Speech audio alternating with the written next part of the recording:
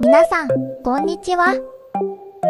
今日は、ママの誕生日が最近あったんですが、プレゼントを作ってる途中の動画を撮ってみました。動画を何本かに分けて編集したので、明日も誕生日の動画を出します。はりちゃんです。ちなみに、雑談とかはないので、この動画は、てるのを見るだけの動画になります。